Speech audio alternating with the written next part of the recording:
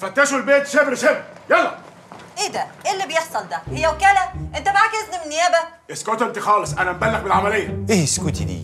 واسكت انت كمان حسابك معايا بعدين إيه انت جاي تخرسني في داري طب ما تقولي عاوز إيه؟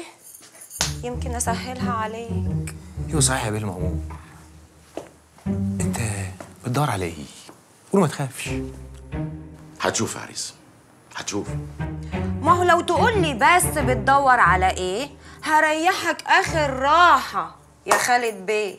وحياة مقامك اللي ما قدروش ولا عرفوش. البيه الكبير. سليمان باشا مدكون إيه؟ نسيته؟ ده يزعل قوي. أصله ما يتنسيش. لا لا لا. لا يا خالد بيه إيدك دي تنها جنب منك. هتلزمك في التفتيش. إن لقيتوا حاجة أهلا وسهلا إن ما لقيتوش بتوكلوا على الله. مفيش حاجة يا فندم. صرافه يا دي الكسوف هو البيه كل ما يجي ينطرد ولا إيه يا ولاد؟ مش هفوتها لك يا رويا مش هفوتها لك. وأنت؟ أنا هوريك. أنا اللي مش هفوتها لك يا خالد بيه أنت والعمدة بتاعك. اللي حصل ده مش هيعدي على خير. وأنا قلت لك قبل كده أنت لسه ما تعرفش راوية. ما صدقتنيش. بشرفي لو اوريكم شرفت يا خالد بيه. اتفوق عليك راجل ناقص. بقول لك إيه يا راوية ما كانش لازم تجيبي سيرة الموضوع ده خالص. بالعكس ده هو ده وقته. كان لازم أحرق دمه. يا حلاوة يا ولاد. يا حلاوتي كده وأنا قاعد في وسطيكم ولا كوز الذره مش فاهم حاجة. إيه؟ مش هتفهميني؟ هفهمك على كل حاجة يا أبو العيلة. بنتي يا حنان. يا نعمين. روحي لأبو العروسة إياها وقولي له إن قريبة العريس هنا وعايزة تشوف البيت. ولو عجبتها هتاخدها بكرة وتسافر. فهمتي؟ حاضر من عيني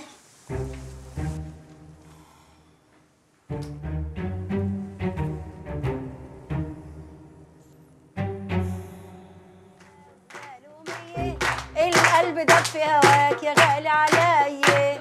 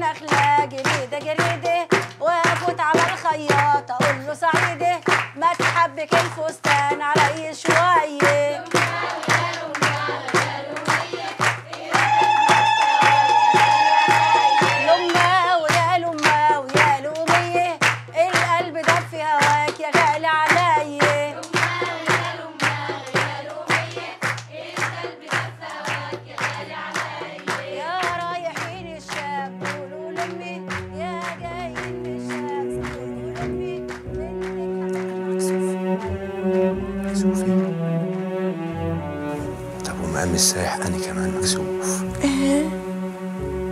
ما تيجي نحط كسوفك على كسوفي؟ اختشي يا أبو العيلة. هنجيب كسوف إيه اختشي يا أبو العيلة اختشي يا أبو العيلة. من باب الونس إيه لا اختشي يا أبو العيلة.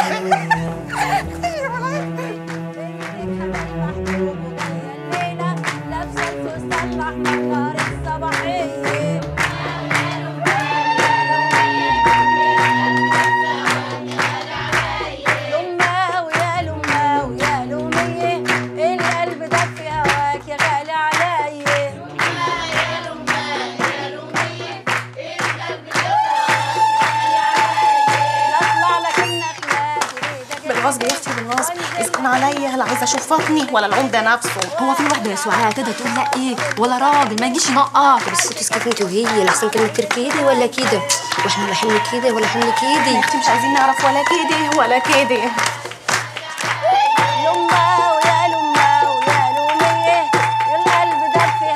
يا غالي عليا. يا ناري أنا هموت من الفرس يا أبو العيلة. ما هو يا إحنا بقى يا المأمور الزفت ده. الحكاية خلاص بقت على المكشوف وأنا بصراحة ما بحبش أحس إني ضعيفة. اللي هيهوب ناحيتك أنا هولع فيه؟ إيه اللي ضعف دي؟ إيه؟ إيه ضعيفة ومش ضعيفة؟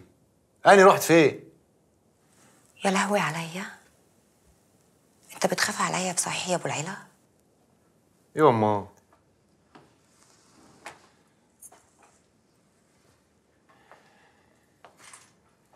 أنا خلاص مش هبقى خيخة تاني.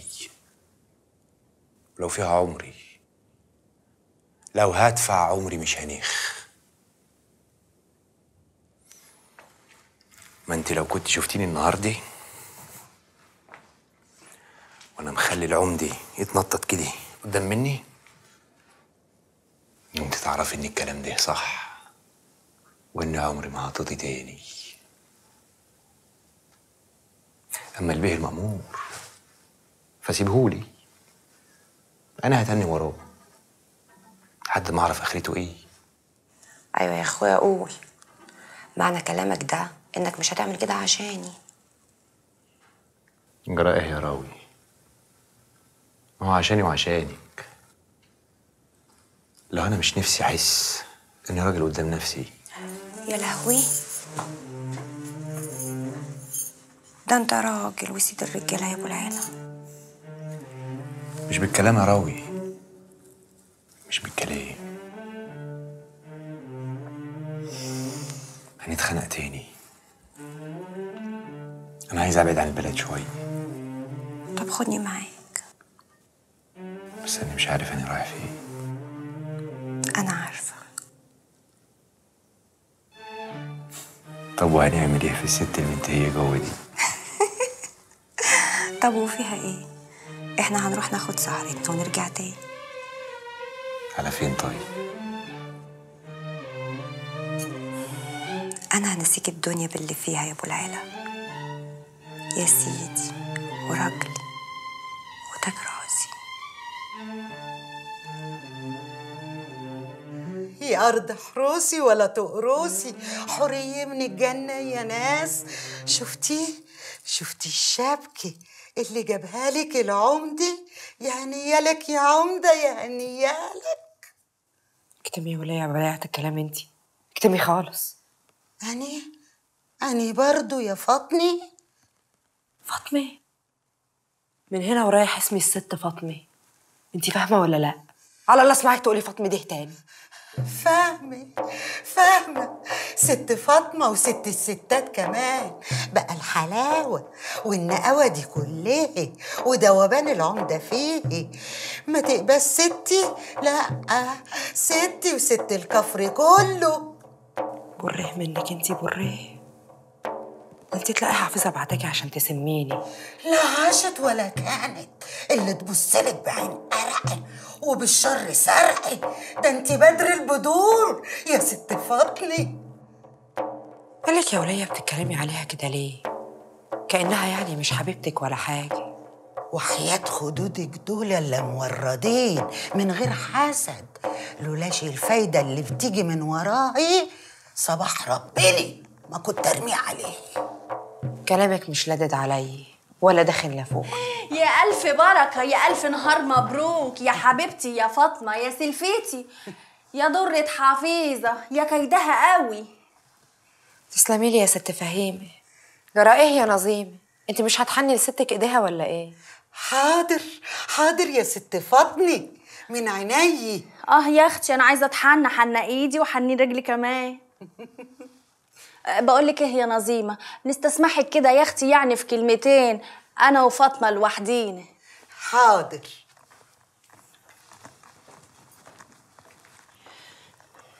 خير يا أختي. عايزة أقول لك يا فاطمة خدي بالك من اللي انت رايحة له. سبق وقلت لك وبقول لك تاني النار يا بت بتحرق صاحبها. وعتمان وحفيظة ملهمش عزيز ولا غالي. وبعدين ما إحنا عارفين. عتمان يا بت واخدك بطن. تشيل وتحط. ولو خد اللي هو عايزه مش هيبقى لك عنده عازة. طريق عتمان له سهل ولا هين. أنا عارفة إن طريق عتمان له سهل ولا هين. بس عشان تبقي عارفة أنا خلاص عرفت عتمان وحفظت أكتر من نفسه. متخافيش عليا. أني خلاص ما بقاش حالتي اللي أبكي عليه. لكن عدمان وحفيظي حالتهم اللي لو راح منهم هيبكوا عليه بكى العمر كله. المأذون وصل يا ست الستات.